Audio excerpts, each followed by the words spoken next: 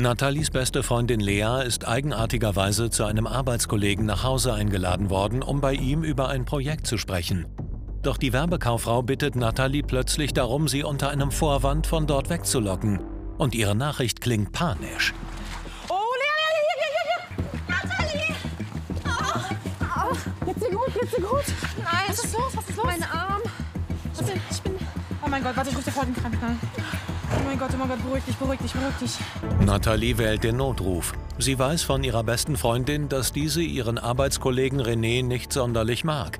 Aber heute bekam das Treffen einen sehr merkwürdigen Beigeschmack. Im wahrsten Sinne des Wortes. Der hat Risotto gemacht. So mit Champignons und ich soll die ganze Zeit das schmecken und er hat mir immer die Gabel vors Gesicht gehalten. Ich soll, aber das roch so erbärmlich. Es war so fürchterlich. Unter deine Nase gehalten? Richtig. Und dann habe ich ein paar Happen aus reiner Höflichkeit, aber es war so scheußlich und. Und wir, dann? So eklig. Ja, ja, dann wollte ich nur noch weg, weil eigentlich sollten doch die Kollegen Ey, ich hatte kommen. schon so das Gefühl, deswegen bin ich extra hergekommen. Oh mein Gott, lass dich in den Arm Ja, nehmen. die Kollegen sollten eigentlich kommen, aber das war einfach nur irgendeine Masche, keine Ahnung. Oh, warte, warte, warte, warte, warte, warte, warte, warte, warte. Ey, nein, bleib hier. Ich hab einen Schirm, ich sag's dir. Ich hab bin doch überhaupt nichts gemacht. Ja, geh weg. Ich komme gerade aus dem Keller und sie ist Guck mal, plötzlich wie weg. verängstigt sie ist. Merkst habe du ihr nichts nicht? getan. Komm, wir gehen ein bisschen weg von ihm. Lea, Nein, komm nicht näher. Lea, Guck was mal, ist denn passiert? Ich habe nichts gemacht. Ich war Sie gerade gar nicht da. Ich kam gerade von unten. Ah, genau, von unten. Jetzt hast du da unten gemacht. Wolltest du noch mehr Nein, wir was? waren nur nett am Essen und dann kam ich plötzlich Nett Keller und sie Deswegen hat sie auch zu so. Angst vor dir, ne? Ich habe nichts gemacht. Doch, du kommst immer näher. Ich sollte immer das Risotto essen. Und das war so Bleib weg, hab erbärmlich. ich gesagt. Okay, das kam mir jetzt mega komisch vor. Warum wollte bitte René, dass Lea von seinem Essen isst? Da kann ja nur was komisch sein, jetzt mal ohne Spaß. Danke, dass Sie gekommen sind. Nein, geht weg. Tag. Das ist hier einmal meine beste Freundin Lea. Was ist passiert? Ähm, ihr, und zwar hat sie mir gerade erzählt, dass sie bei ihm essen war. Das ist ihr Kollege, die kennen sich eigentlich durch ihre, aus die Arbeit und so. Genau. Und äh, dann hat er irgendwie Essen gemacht, so ein Pilzrisotto. Und auf einmal ging es ihr richtig komisch, sie hatte richtig Angst. Und er hat ihr immer das Essen unter die Nase gehalten. So, so bedrängt quasi, dass sie das essen soll. Und dann ist sie natürlich schneller abgehauen und jetzt habe ich sie so gefunden. Darf ich einmal gucken? Ja, und mein Gesicht. Ja, ich darf einmal gucken. Einmal. Ja, hier alles Nee, ich will nur gucken. Okay, wo haben Sie noch Verletzungen? Hier. Einsätze mit häuslicher Gewalt oder Übergriffe gegen Frauen nehmen leider zu. Ähm, wir werden häufiger zu sowas gerufen. In der Regel sind wir froh, wenn die Polizei da ist. Wenn die noch nicht da ist und wir zuerst da sind, ist Vorsicht äh, angesagt. Man weiß nie, wie die Leute reagieren. Auf den Kopf gefallen? Nein, ich bin da ausgerutscht. Hat er, sie Auf der ange Terrasse. hat er sie angegangen? Nicht angefasst. Er kam mir immer näher. Herr Günther, Doch, du Sie haben gerade mal. Sendepause, Du ja? hast ja echt gar nichts zu Kamel. Okay, pass auf. Jetzt rede ich. Ist er sie angegangen oder nicht? Er kam mir, er war sehr aufdringlich. Okay. Können Sie den Arm bewegen? Ja. Die hatte Schürfwunden am Ellbogen, äh, im Gesicht. Sie wirkte sehr blass und hatte so generell so diese Anzeichen eines Unwohlseins. Also sie war komisch. Wir machen ein Projekt zusammen. Ich bin die Leiterin. Welches Projekt? Wer wohnt jetzt hier? Wohnen Sie hier? Wohnt er hier? Ja, René wohnt also haben hier. Sie sich hier getroffen, um das Projekt Richtig. abzusprechen. Und eigentlich okay. sollten Kollegen kommen und die kamen nicht. Und das ist sehr merkwürdig. Wir wollten eigentlich zusammenarbeiten, da kamen sie nicht. Und dann kam er immer näher. Ist richtig aufdringlich. Und dann wollte er Wein holen. Und dann bin ich geflüchtet und bin dann auf der Terrasse ausgerutscht. Okay, ein bisschen schnell und sind sie unterwegs. Wir nehmen sie mit erstmal in RTV. Ja, ich höre zu. Ja, bitte. Ganz gut ist ihn ja noch nicht, ne? Also Fremdverschulden können wir nicht ausschließen. Ich nehme sie Ja, einmal mit. vor allem hört sich das ja schon nach Belästigung an. Pass auf, wir nehmen sie einmal mit in RTW. Dann machen wir Vitalzeichen, weil sie ist ein bisschen wackelig auf den Beinen, Leitstelle okay? Köln 1 NF1. So, dann folgen Sie mir einmal unauffällig. Ich äh, benötige hier mal die Polizei an der Einsatzstelle. Dann packen wir sie. Was ist los? Was los, was los, Was was ist los, los? was los? Oh je. Komm raus. Einfach raus. Einfach raus, Einfach raus. Okay? Mach mal hinten auf, oder? Ne? Oh, das ist scheiß Risotto. Ja, was keine Miete zahlt, muss raus. Äh, Wollen Sie sich einen Moment hier hinsetzen? Ja, bitte. Komm, lass, lass da einmal. Nehmen Sie mal kurz Platz. Danke. Was, was? Irgendwas ja, hat sie einmal quer durch den Kopf gelassen. Irgendwas gegessen, getrunken, was Sie nicht vertragen Ja, haben? das scheiß Pilzrisotto vom René. Ach, haben Sie das doch gegessen? Ja, zwei, drei Happen. Eine Pilzvergiftung äh, darf man auch nicht unterschätzen. Ähm, die kann halt äh, leichte Symptome wie Übelkeit, Erbrechen ähm, haben, aber es kann halt auch viel, viel schlimmer werden mit Magenkrämpfen, mit ja, äh, Schweißausbrüchen und sonstigen Sachen, mit äh, Kompletterbrechen ähm, im schlimmsten Fall. Und auch das haben wir schon erlebt, leider, dass es äh, zu Todesfällen kommt. Ähm, Hat er die Pilze selbst gesammelt? Nicht, dass wir da hier giftige Pilze haben? Was waren das für Pilze? Keine Ahnung. Was ein Scheiß. Ganz normale Pilze. Gucken Sie mich einmal an. Hi. Würden Sie gerne einmal damit reinnehmen? Dann kriegen wir uns mal was gegen Ich habe Übelkeit. wirklich nichts als Essen gemacht. Gar nichts. Ich war, wie gesagt, ich war kurz im Keller gewesen. Ich wollte nur was zu trinken holen. Und auf Olli. einmal war sie weg gewesen. Sollen normale Pilze gewesen sein. Ja, aber selbst Lass dir doch oder zeigen. Dose? Dose. Dose oder selber? Aus, aus dem Supermarkt gekauft. Okay, alles klar, dann wird es kein Lass dir trotzdem mal zeigen. Hallo. Hi. Wir sind gerufen worden, eigentlich wegen Sturzgeschehen bei der Dame. Hat sich dann aber herausgestellt, dass die Dame äh, geflüchtet ist vor diesem Herren, weil sie sich äh, bedrängt gefühlt hat. Ja. Und dann ist es irgendwie zu einer Handlung im Haus gekommen, dass er sie bedrängt hat. Sie sollte da was Der essen. kommt, Moment, und der kommt einfach nicht darauf klar, dass er die Projektleitung nicht bekommen hat und hatte deswegen wahrscheinlich was ins Essen gemischt. Zu jeden 100 Fall. Prozent. Mal kommen wir gleich zu. Ja, genau, du Matratzenkönig brauchst die gar sie nicht ist weiter. dann vor ihm geflüchtet, über die Terrasse raus, ist dann wohl ausgerutscht, hat sich am Arm verletzt, ein bisschen am Kinn. Und jetzt gerade hat sie sich übergeben und ich wollte halt gerade von ihm wissen, ähm, weil es da um irgendein Pilzgericht geht, was er ihr aufgedrängt hat. Sie sagte die ganze Zeit, er hätte es aufgedrängt, ihr unter die Nase gehalten, sie sollte Essen dran riechen oder sonst irgendwas. Die Spezialisten vermuten, dass der Werbekaufmann etwas ins Essen gemischt haben könnte, um Lea zu betäuben.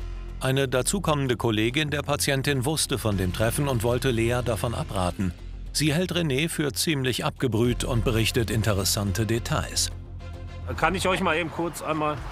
Äh, Das ist eine Arbeitskollegin von der Patientin. Sie war jetzt hier hingekommen und wollte sie warnen. Ich habe aber noch nicht mehr gefragt. Ja, mein Freund hat mich angerufen und hat gemeint, dass hier der René anscheinend sie hier hingelockt hat. Und ich wollte, ich wollte sie halt warnen, dass er nur einen neuen Strich auf seine Abschleppliste machen will mit ihr. Ja, das deckt sich ja mit dem, was Sie gerade gesagt Ich haben. wollte gerade sagen, also hast du wirklich hier Essen... Du hast hier wirklich was ins Ich Essen habe, gemischt? ich habe gar nichts ins Essen gemischt. Ja, genau. Was ist das für eine Racheaktion von dir? Ja, Verführen wollen. René Günzel. Herr Günzel, Fakt ist doch, dass jetzt hier zwei unabhängige Personen hier stehen und behaupten, sie hätten dieses Mädel unter welchen Vorwänden auch immer in die Wohnung gelockt, um Ganz ehrlich, woher weiß Ihr Freund das denn? Ja, mein Freund arbeitet mit uns in der Firma und der Ach so, kennt Sie ihn arbeiten halt. alle und der hat der- ihm das, Das sind einfach gesagt. nur Gerüchte, mehr ist das nicht. Ja, als Ich ob. das ist die Ich habe Wahrheit. nichts gemacht. Gib's doch einfach zu. Also im Zeitalter von Liquid, Ecstasy und K.O.-Tropfen sind wir bei solchen Geschichten, was Pilze und sowas angeht, sehr hellhörig. Äh, das nehmen wir nicht auf die leichte Schulter. Aber was im Laufe des ganzen Verfahrens noch da zutage kam, das sollte noch sehr kurios werden. Was ist denn hier los, ey? Wieso kommen Millionen Leute hier hin? Sag mal. Guten Tag, gehören Timo! Sie auch noch hierzu? Spinnst du eigentlich? Was hast du mir da für ein Mist gegeben? Einmal zurück, ja, ganz ruhig. Großveranstaltung. Nix. Ja, denn tu jetzt nicht so, als wenn du von nichts wüsstest. Ich weiß von nichts. Er ist derjenige. Achso, Sie haben gar nichts damit jetzt zu tun. Nee. Was wollen Sie jetzt hier? Komm. Ja, wegen dir ist doch der ganze Scheiß ihr jetzt hier. auf jeden Fall Guck mal, was, was hier los ist. Ich krieg jetzt hier einen angedreht. Hier liegt ein Mädchen im Krankenwagen. Der geht's nicht gut. Der hat irgendwas gegessen, was sie nicht vertragen hat. Die zwei Damen belästigen, äh, be beschuldigen ihn, dass er das mit Absicht gemacht hat, um sie in die Kiste zu kriegen. Ja, wir beide haben da jedenfalls nichts zu tun. Gar nichts. Erzähl doch keinen Mist. Ich habe die Scheiße doch von dir bekommen. Das ist nicht mein Freund. Was, ist er heißt, was heißt das? Sie haben von ihr was bekommen. Er hat mir Pilze verkauft. Er hat mir ein Video gezeigt, wie seine Freundin an diesem Pilz geschnüffelt hat. So, und äh, ja, sie ist halt voll drauf abgegangen. Und dementsprechend habe ich ihm halt ein paar äh, Stück für 300 Euro abgekauft. Darf So. ich da, Moment, äh, kurz mal eben einklinken? Jetzt wird's interessant Jetzt wird es für mich interessant. Ja. Was für Pilze und was heißt drauf abgegangen? Ja, er hat mir halt ein Video gezeigt, wie seine Freundin halt einen Orgasmus dadurch bekommen hat. Durch die Pilze. Richtig, genau. Hat er das Video noch? Ich habe das Video noch. Sie haben das Video? Ja, Wunderbar. kann ich Ihnen zeigen. Dann Einen zeigen Sie Moment. uns das mal bitte. Aber bevor es heißt, es stimmt nicht. Am besten kommst du mal dazu. Ich denke mal, So, hier, bitteschön. So, Schatz, dann riech mal an den Pilzen. Und, spürst du schon was? Echt so gut? Oh mein Gott, ja. Oh,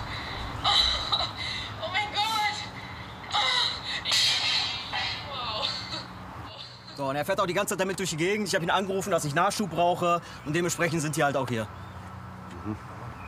Was sollen das für Pilze sein?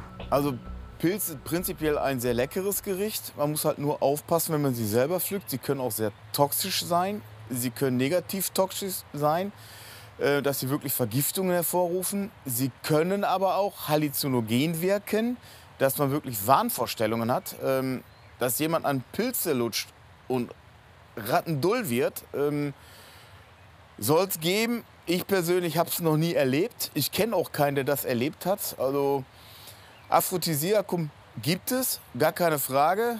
Aber bei Pilzen wäre ich sehr vorsichtig. Ich möchte gerne wissen, was das für Pilze Erzähl sind. Der das, Dame erzählt schlecht. hast.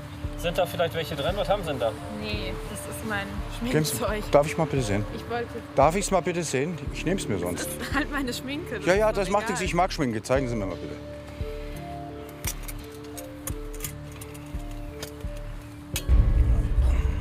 Ja, genau. Mhm. Und Schminkgeld. Schminke. Und riechen. Halt mal Abstand. Nicht, dass du noch gar nicht bist. Das wollen wir mal nicht verantworten. Nicht im Dienst, ne. Damit kannst du dich mal schminken, will ich sehen. So, das Zeug bleibt erstmal bei uns. Ja, und eine Probe für uns. Ja, könnt, Krankenhaus, ne, könnt ihr auch. Er hat zu mir gesagt, das wären hawaiianische Pilze, die halt äh, Frauen scharf machen. Ja. Das war seine Aussage. Hawaiianische Pilze. Richtig, genau, das hat er mir gesagt. Ja, deswegen auch Echt jetzt? verführen, ne? Naja, gut, da hatten Sie ja anscheinend doch Ja. recht mit Ihrer Vermutung. Ne? War ja auch klar. Geht es ja hier nicht um die Arbeit, sondern äh, hatten doch ein bisschen Bock auf was anderes. Ich habe hier aber definitiv nichts Körperliches angetan, das würde ich niemals machen. Und es, es ging mir nicht nur um rein um das Sexuelle. Äh, ganz ehrlich, die Dame ist geflüchtet vor Ihnen. So ganz unschuldig scheinen Sie ja nicht zu ich sein. weiß nicht, warum sie weggelaufen ist. Ich habe sie Ja, wirklich weil sie. Schiss hatte. Warum rennt, warum rennt eine Frau weg? Ja, kriegt irgendwas vor der Nase gehalten, ihr wird komisch und die haut ab. Ich finde, das ist eine Belästigung. Ich Aber das, das ist nicht euer direkt unter Part. die Nase gehalten. Ja, was denn? Warum kotzen die durch die Gegend? Was ist das überhaupt für eine Masche, ey, das Und unter die was Nase ist zu das für ein Humbug? Da habe ich noch nie was von gehört. Das ist doch Verarsche, oder nicht? Bringt aber Geld. Ich habe dann natürlich mal nachgehakt, was das alles hier so sollte, weil das war Schauspielkunst hoch drei. Damit kann man schon einen Oscar gewinnen, definitiv.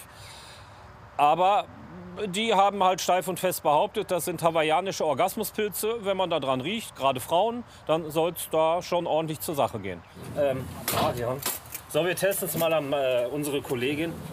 Riech mal dran. Wirst du geil? Gut, klappt nicht. Das sollen hawaiianische Pilze sein, die Frauen äh, für Or äh, Frauen orgasmusfördernd sein sollen. Und wann kommt Da der? gab es ein Video von Aber- der Dame, die da draußen war. Die hat da dreimal dran gerochen und ist so Warum macht zu? Funktioniert aber auch nur, wenn ein geil Strang DNA gegenüber hast, Totaler oder? Humbug. Der hat auf jeden Fall damit das gekocht. Wir, nee, wir nehmen es mit, weil das hat sie gegessen. Die junge Dame wird kreislaufstabil behandelt, sie kriegt Flüssigkeit, noch mal was gegen Übelkeit. Ähm, Im schlimmsten Fall macht man eine Darmspiegelung, aber erstmal in der Klinik wird ein Screening gemacht, die kriegt Blut abgenommen und symptomatisch behandelt. Wenn ich jemanden mag, ja, dann versuche ich es auf einem normalen Weg, nicht mit so einem Quatsch. Ich habe alles versucht. Das Ja. war das Problem. Dann sollte man das vielleicht einfach mal akzeptieren und sagen, die Frau will nichts von mir, die mag mich nicht. Ja. Ich habe jetzt Ja? verstanden. Ist so im Leben. Manchmal klappt es nicht so, wie es klappen soll. Aber wenn man der Bezirksbefruchter in der Firma ist, hat man so schlechte Karten. Ne? Ja. Der Pilzverkäufer und seine Freundin wurden wegen Betrugs angezeigt, weil sie handelsübliche Pilze als angebliches Superaphrodisiakum teuer verkauften. Aber auch für Werbekaufmann René hatte der Vorfall Folgen. Er wurde aus dem Projekt ausgeschlossen und suchte sich daraufhin eine neue Anstellung. Eine große Erleichterung für Lea. Sie hatte sich nur übergeben, weil ihr die Aufregung auf den Magen schlug.